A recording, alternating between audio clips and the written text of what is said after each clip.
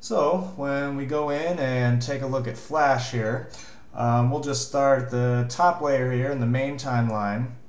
Um, we have a size guide. So we have these resolution gates. If I zoom out a little bit here, you can see that we have these different size of showing regular iPad, even all the way out to the Retina display iPad. Um, the most common 10.1 inch and 7 inch Android displays, and then the universal desktop web displays. So um, there are actually some advanced um, variables and methods built into the framework that will allow you to programmatically build a responsive design, um, but it's usually beyond the scope of the students' projects, and we typically choose um, one or two layouts and just uh, target them.